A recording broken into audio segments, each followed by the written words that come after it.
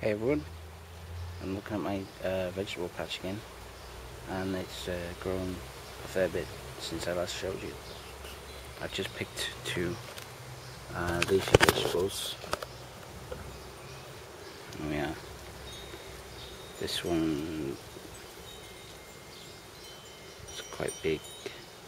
I'm gonna I'm gonna eat these now. See what they're like.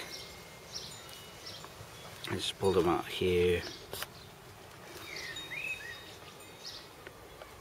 There's uh, the beans. Uh, those ones there haven't grown that much. They haven't grown that fast. I think maybe they were too closely packed. If they don't grow faster sometime soon, I'm going to pull a few out. See if I can make them grow better. These ones, they were they were right down there below the bottom string. But now they've gone quite high. They're doing quite well. Can you see that? And I'm not sure if that's a bean sprout or if it's another branch coming out or something. And the leafy vegetables they're going like that and some of these are turnips. Actually I was wrong. These ones on the right they're not turnips. All of these on the left are turnips. I should have guessed really because they're all exactly the same and what I've discovered is on the leaves there are some little bumps.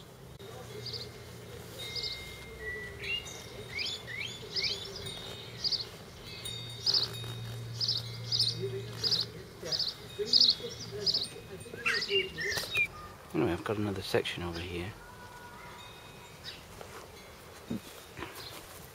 more recent.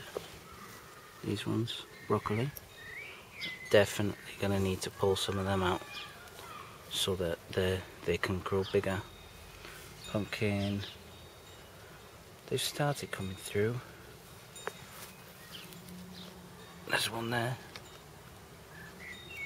Um, I don't know what that is. That doesn't look like the same thing. i have to find out what the leaves look like here. These two rows there and there. One of them's carrot and one of them is spring onion. I think this one is spring onion. They look straighter. They're, uh, they're growing faster than these ones because I've actually started watering them.